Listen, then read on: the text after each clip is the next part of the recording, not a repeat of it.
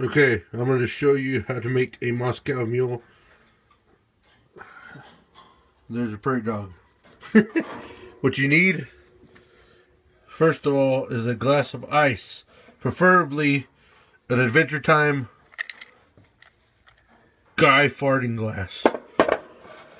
You need some ginger beer, preferably Fentimans,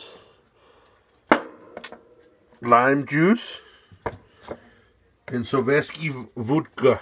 Or if you can afford to spend money on the good stuff, good stuff, then you're going to need a bottle opener. Right here I got a bottle opener that shoots the bottle cap.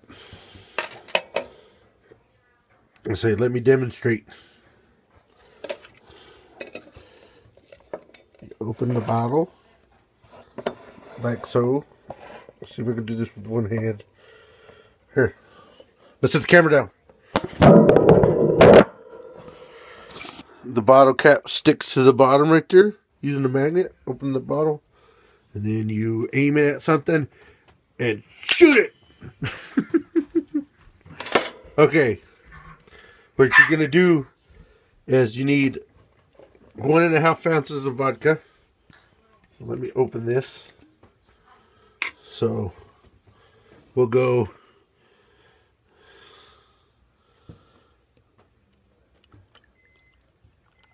that's about one and a half ounces.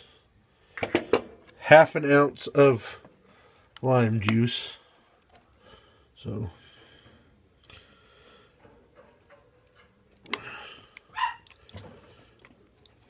that's probably half an ounce. And half a cup of ginger beer. So we'll go that's about half a cup. So you can see it's clear. And then you drink it.